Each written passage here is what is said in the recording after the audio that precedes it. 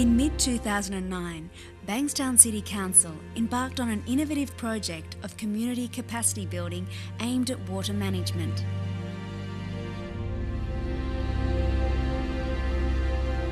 It utilised a creative framework to improve community knowledge and understanding of Australia's water resources.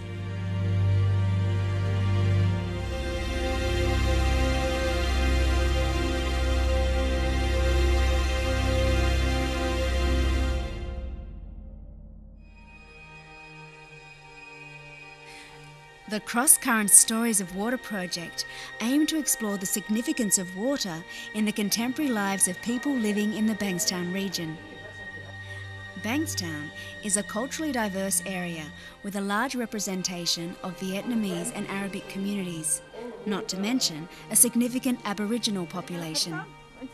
The project specifically targeted elders from the Arabic, Vietnamese, and Aboriginal communities. These elders have lived experiences, traditional knowledge, and culturally specific stories.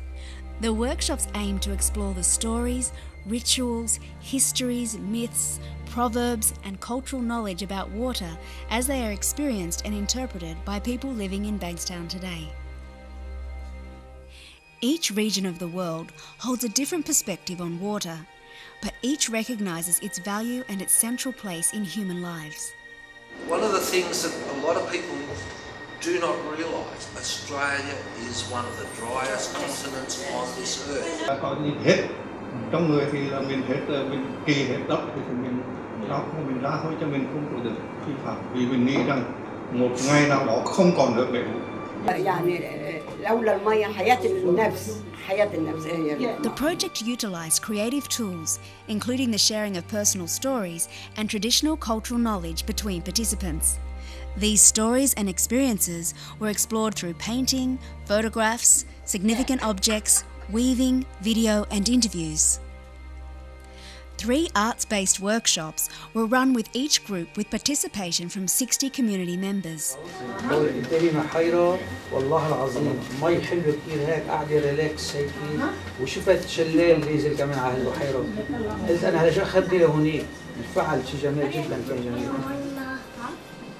À, đây là tranh tôi vẽ về những cái chuyến vượt biên của cái người Việt Nam thì trên cái chiếc chiếc ờ, tàu đó ờ, rất là nhỏ mà đông người ờ, thiếu thốn lương thực nước nôi rất là nhiều thành ra những cái người vượt biên này người ta cảm thấy nước đó, nó quý hơn vàng Vandana Ram is the Cultural Development Coordinator at Bankstown City Council, and together with Peter Fox, the Environment Education Officer, developed and coordinated the Stories of Water project. I'm really interested in hearing from local people how we understand water and where we're coming from and where, you know, from our past and where we're going into the future.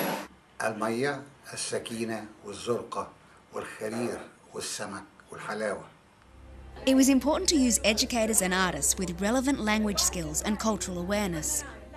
Joanne Saad, the Arabic artist, was particularly interested in working with people's photographs and objects significant to water. She encouraged the participants to bring these images and objects into the workshops as a way to explore memories and traditional practices.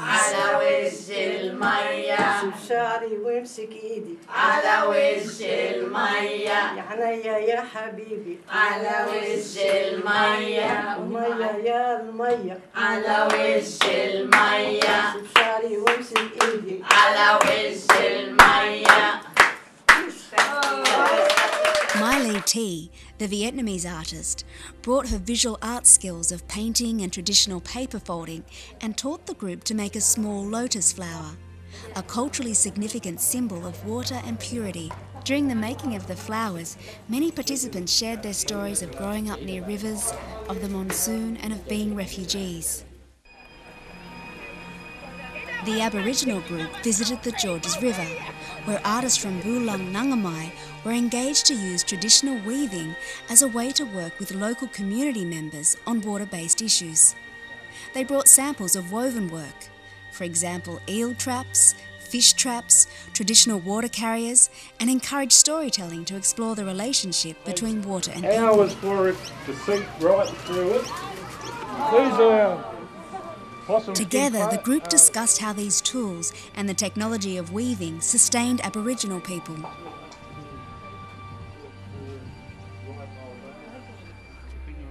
The day was based around weaving and water and the effects of salt water versus fresh water.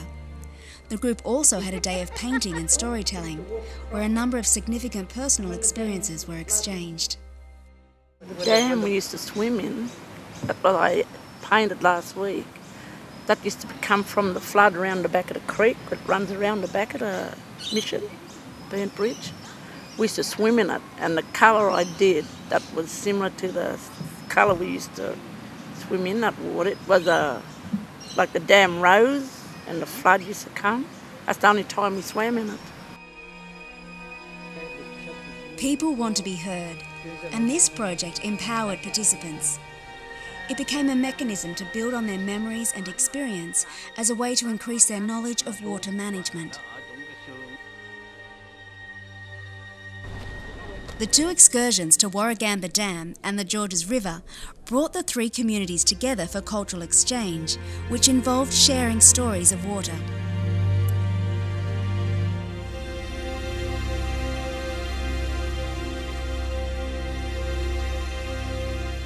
Cross cultural interaction was made possible through the active engagement of interpreters and finding activities that encourage people to exchange ideas and information. All these processes were used to increase awareness, knowledge, and understanding of issues of water supply and demand, as well as catchment and river health. The three communities were able to come together and bond with one another in a short period of time. They were able to learn from each other's beliefs and traditions. The Warragamba Dam excursion was the highlight in the project and helped the groups to understand where our water supply comes from, how to protect and maintain its quality, whilst considering future options for our water supply. The Cross Current Stories of Water project facilitated a deeper connection with place and the environment. We, from an Indigenous point of view, we have grown up with water and uh, water has meant so much of it because Australia has always been considered an arid, dry land, and uh, certainly uh, where I come from, a remote area originally, water meant so much to me. This project demonstrated the importance of starting at a local level and finding the commonalities between people and landscape while building upon core values.